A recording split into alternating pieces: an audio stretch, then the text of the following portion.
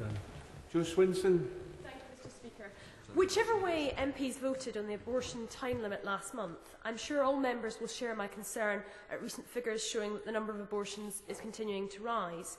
So can we have a debate on the government's strategy for reducing unwanted pregnancies and abortions so we can discuss why it isn't working and how it can be improved?